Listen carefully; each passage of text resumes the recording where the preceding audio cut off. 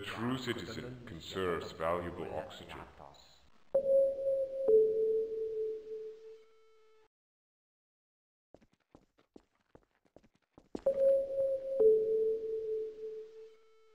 The true citizen's job is the opposite of slavery.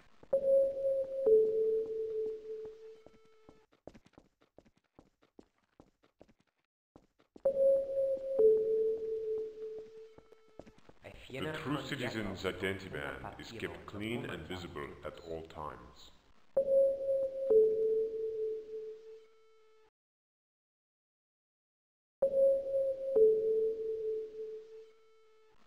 The true citizen knows that duty is the greatest gift.